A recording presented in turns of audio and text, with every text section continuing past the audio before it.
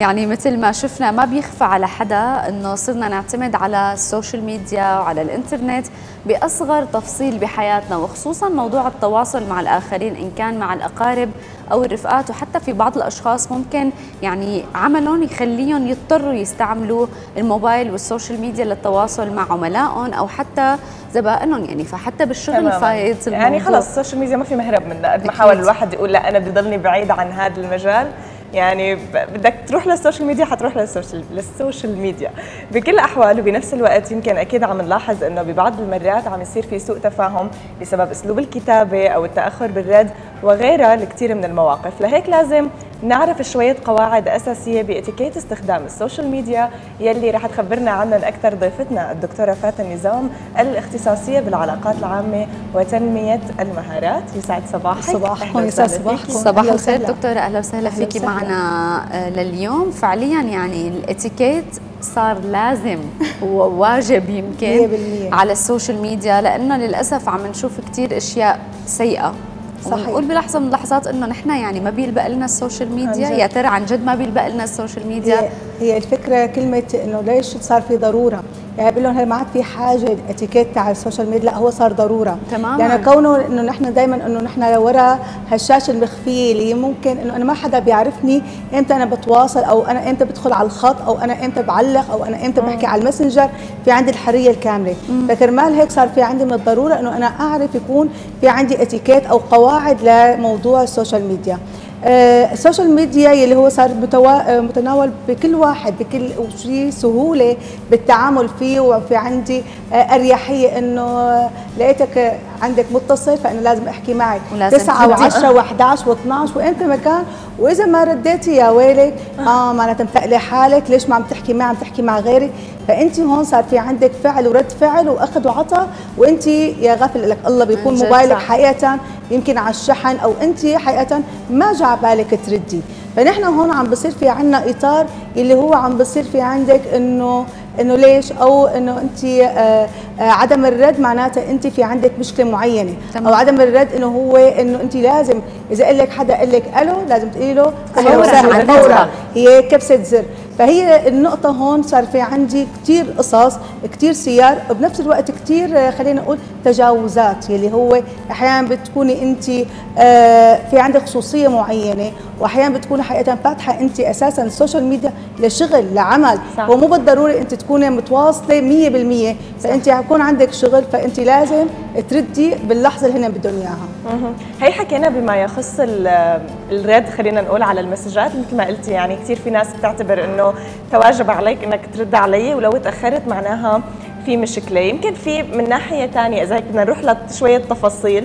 موضوع كمان نشر الصور أو الفيديوز هو في ناس بتشوفها أنا حر بنشر اللي بدي أو أنا يعني الفيديو المناسب أو كذا. في أوقات شغلات تحسيها هي يمكن غير مناسبة لمجتمعاتنا أو شيء ما بعرف إذا هذا ممكن يكون مبرر إنه نحن ما ننشر شيء يخالف شوي نطاق المجتمع اللي نحن فيه. بشكل عام شو في اتيكيت يتعلق بموضوع نشر الصور أو الفيديوز هي دائما هي صفحة الفيسبوك الخاصة هي خاصة فيكي. يعني ليش نحن دائما إنه نحن لازم نتجاوز خصوصية الآخرين؟ يعني في عالم هي حياتها. خلينا نحكي على الجانبين. في عالم هي بتحب تحط مفردات حياتها تفاصيل فصيل. حياتها تحط فيديوهات خاصة يمكن لابنها يمكن لحياتها يمكن لنجاحها يمكن أي مناسبة. فهي اسمها خصوصية. صحيح. وين هون بتتجاوز أنت الخصوصية؟ ما أنت تتدخل بخصوصيتي. يعني أنا مثلا هي صفحتي الخاصة. في أحيانا في مشكلة إنه أحيانا بتتاخذ صورة تمام؟ وبتنتشر على صفحة حدا ثاني أو فيديو خاص بتنتشر على حدا ثاني هي اسمها صفحة خاصة. لو نقول صفحة عامة كشغل كأنا حاطة فيديو مثلا توعوي okay ممكن كثير نشره أو أختم مشاركة. ولكن فيديو خاص كيف أنت من وين لوين انت تاخذ هذا الفيديو أو هي الصورة. يمكن من منحى إنه أنت بمجرد إنك حاططيه على وسائل تواصل اجتماعي فما بقى في له خصوصية. آه هي إيه تماما. بس هون هون في يلي بنقول يمكن ما بيلبق ما بيلبق لنا ال social media شوي حكيتيه بس ما حبيت كنت بس لا هو يمكن إنه أحيانا يمكن ما بيلبق لنا إنه نكون آه ان هي الحيز الخاص. لا هذا اسمه فيديو عائلي. هذا اسمه فيديو آه مناسبة خاصة فيه. فمو ما لازم نحن نتداوله. وين الأخطر؟ ما واحد يجي يعلق تمام؟ أنا ما له friend هو يعلق على فيديو وبعدين بس بمعنى إنه أنا كمشتك ها؟ هي حطيته وأنا كمشتك وشفتك. أو في ناس بتعمل مشاكل بهالقصة على صفحة آخرين آه حدا بيعمل tag لحدا وبصيروا ببلشوا يتخانقوا على, على post ما خصهم فيه يعني ما خصهم فيه هن الاثنين. فهون انت آه من المعيب إنه أنت بدك تقيمي لهم تحسبي لهم كل تعليقاتهم ومن المعيب إنه أنت فتحتي لهم مجال زيادة عن اللزوم وأنت مثلا بدك تتدارك القصة. أوكي. فهون صار في عندي حقيقة تجاوز الخصوصيات بطريقة كثير معيبه تمام. طيب بما إنه فتحتي هذا الباب خليني شوي أحكي عن فكرة التنمر على مواقع التواصل الاجتماعي والتعليقات السلبية. كثير صح إنه نحن نعلق ويكون لنا رأي ونقد. يمكن يكون هذا النقد إيجابي يمكن يكون سلبي ولكن ضمن نطاق الاحترام يلي هو للأسف صار شبه معدوم على مواقع التواصل صحيح. الاجتماعي. آه، آه، شخص عمره 60 سنة بيجي أنا بكتب وبسب عفوا من هذا اللفظ عليه وما ما بتفرق معي. طيب أنا بحط والدي بهي المكانة قبل ما مثلا أحكي مع شخص أو سب على شخص أو هين شخص وأنا مو فهمان أصلا شو السيرة. فكيف ممكن نعمل حد لهذا الموضوع بعيدا عن يعني الجرم الإلكتروني والقوانين؟ الشيء الأخلاقي شو لازم يكون؟ بتعرفي في شغلة كثير مهمة مثل ما ذكرت نحن مفكرين حالنا متخفيين وراء هالشاشة الصغيرة. يعني هي دائما التواصل اسمه التواصل عبر وسائل آه، مواقع التواصل الاجتماعي إنه أنا بعيدة أنا ماني بوجهك أنا ما عم بتفاعل أنا وياكي فيلا أنا كتبته بدي أكتبها. هون في نقطة في عالم هي بس بدها تكتب تستفز الآخر. في عالم لا اخطر إنه أنا مهضوم كمان يعني, يعني هي روح الدعابة هي كثير إنه آه إنه آه بكتب وبعمل إنه ها ها ها أو سمايلات أو هي القصص. نحن عندنا الكتابة حتى الكتابة آه تبع الوسائل التواصل الاجتماعي هي أحيانا مضروبة أحيانا ما توصلك الفكرة الصح. فأنت قدرت تكوني دقيقة بإرسال الرساله بالطريقة الصح. لا هي في كمان أكثر من هيك. في عندها عم تحكي على كلمة التنمر. التنمر أحيانا إذا شخص انت حدا تضايق من شخص معين بيعملوا إنشاء عدة حسابات وبصيروا بيحطوا تعليقات صح. مسيئة. وانت وانت بيحطوها يعني هي على دراسة هذا التنمر صار مو طريقة يعني عادية إنه الساعة 2 3 الصبح إلا إذا ما كنت نايمة بيكونوا حاطوا لك التعليقات واحد اثنين ثلاثة بيكونوا عم يشتغلوا أسلوب تنمر بس يمكن إساءة يمكن إشاعة وسخة. في هذا هذا الشيء اللي هذا بنخاف منه. إيه يعني هون مثلا الشخص اللي عمره 60 سنة ممكن كثير هو يحسبه. يمكن يعمل له block بطريقة آه طبيعية. ولكن ما انت تكوني محط نظر ويكون في عاملين مثل شبكة عليك وعم يعملوا حسابات وهون ساعات التنمر والإساءة اللي انت ما بتلحقي تردي لأنه صار في أكثر من حدا. وانت ببين لنفس الأسلوب الكتابة وحتى نفس نفس التشكيل ونفس ال... بتفوتي على ال account بتلاقي نفس ال bio نفس نفس الشيء بالضبط. فهون حقيقه هذا التنمر اللي فيه إساءة في خلينا نقول إشاعة يمكن آآ آآ لعب هي مقصودة بتكون يعني إيه تماما. الاذاءه وحقيقة لك هلا في ممكن كمان تكون التنمر عصبية.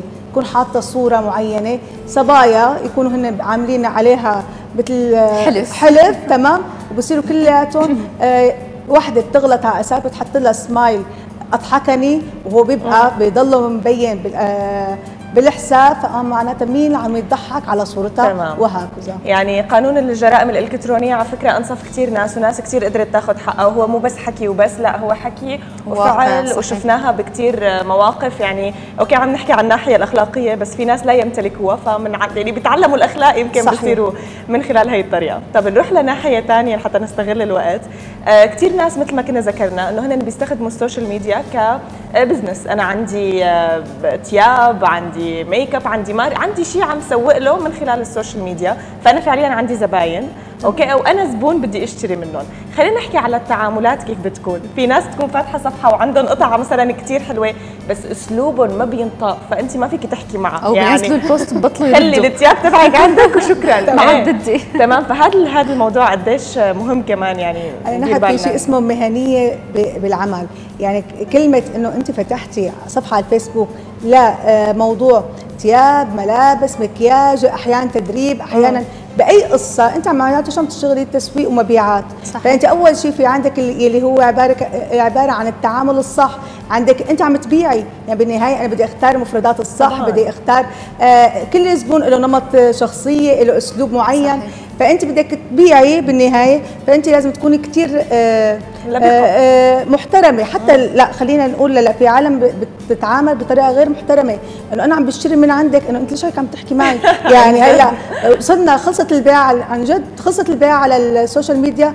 أنت بدك تاخذي القطعة. بدك تاخذي القطعة كأنك عم تشحدي منها أو بصير في عندك آه، طيب، بلاش أسلوب بلاش تمام؟ إنه كأنه على على حب النبي عم تعطيك إياه فهي الفكرة إنه وين التعامل؟ فأنت هون خسرتي مو زبون انت خسرتي 10 زباين.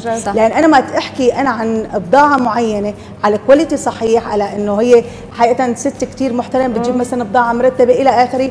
أنا عم بحكي قدام 10 صاروا. صح. فأنا عم جبت لك زباين بالنهاية. صحيح. ولكن أنت أحيانا إذا ما خلصنا نحن من عن طريق ال social media أو مثلا إنه نقطوا خذوا السعر. طب انت طب إمتى بدنا نخلص؟ إمتى من إمتى بدنا نضل ننقط ناخذ السعر؟ طب تخلص الصفحة وخلصت ثلاث أيام وما ما اعطت السعر. طب معناتها خلي البضاعه عندك الله يخلي لك إياها. تتربى بعزة هي الفكرة إنه وقت اللي صبية بدها تفتح شغل على ال social media أول شيء بتكون كثير متحمسة وإنه أنا خلص مم. عندي قواعد. بعدين بتنسى بتقول إيه هي صفحة؟ لا أنت بدك تعاملي مثل مثلها مثل كأنك فاتحة محل. يعني في أهم مواقع بالعالم هي على ال social media. صحيح. يعني إحنا لهلأ ما عرفنا قد إيه هي قيمتها ال social media صحيح. بطريقة ال business هذا business يعني أنت ما تفتحي أنت مثلا تكوني شخصية عامة غير ما تكوني شخصية إنه أنت صفحة شخصية. هذا بيفرق كثير أنت أسلوبك الكلمة النظرة في ناس عم تتابعك كثير بعدين إذا أنت لساتك نطاق بس هون شيء بس إذا طلعتي لبرا نطاق آخر فانت صرتي آه على الوطن العربي انت يمكن صرتي عالمية. فنحن هون انت ما تكوني تشتغلي business بالطريقة أو الخطة اللي أنت عم تشتغلي بقول لك إنه أنت حتوصلي لل brand اللي بدك إياه. أما أنت بس بدي إنه آه، مع زيرين بالكلمة حنك وبدنا إنه كذا ورفقات وكذا فأنت حتضلك محلك آه، بنفس الوقت ما حتبيعي. لا أنت بده يصير ينحكى عليكي إنه هي عم تتسلى. تماما حتى فكرة يعني أخيرا لما يصير اسمك أصلا ينتشر أو شيء فما بدنا نتكبر على العالم لأنه هدول العالم فعليا هن اللي عملوكي وهن اللي عملوا لك هذا الاسم فيعني عم نلاحظها يمكن كثير هي القصة. شكرا كثير لوجودك معنا. الموضوع كثير حلو. ولسه هيك بده فقرات ثانية يعني. تسلمي لي بوجودكم. شكرا لك دكتورة أهلا وسهلا فيكي معنا لليوم.